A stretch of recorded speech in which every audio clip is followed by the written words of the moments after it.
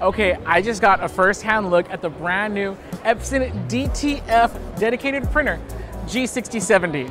You could print in rolls up to 36 inches wide. And not only that, it has a new ink system that you've never seen before in a DTF printer. It's using sealed ink packs. Now this is different than a traditional cartridge, it's different than a bottle. It comes pre-packaged, so loading and unloading is easy, it's mess-free, and they're huge. These are 1.6 liter packs. So you get to go longer in between ink refills, and there's literally zero mess. And something that's really awesome for businesses is this is a day one print.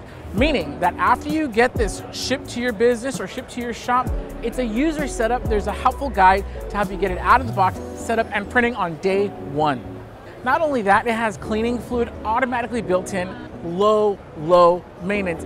We're talking like once a week, maybe five, 10 minutes once a week for the maintenance. And as far as like the physical, like cleaning around the print head and things like that, that's more like once a month the user maintenance on this machine, the physical maintenance on this machine is at an all-time low for any printer on the market. It's absolutely incredible. Epson has done some incredible things uh, with the internal automated maintenance on the new 6070.